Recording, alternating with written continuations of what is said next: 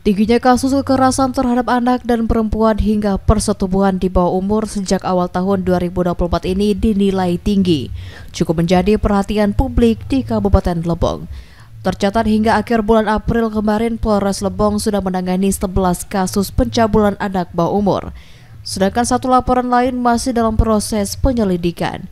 Data dari polisi, para pelaku dalam kasus ini tak lain adalah orang dekat korban, mulai dari tetangga, kerabat hingga pacar korban. Dengan jumlah tersebut, Kasat Reskrim Polres Lebong Ibtu Rizky Dwi Cahyo mengaku prihatin. Pihaknya sudah melakukan upaya preventif dengan menggelar sosialisasi hingga ke tingkat desa.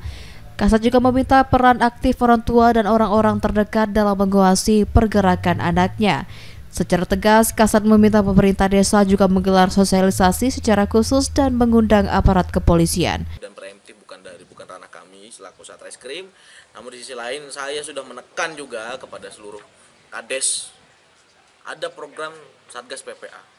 Lakukanlah dengan baik karena rekan-rekan kades yang mengetahui dinamika dan situasi di masyarakat secara langsung.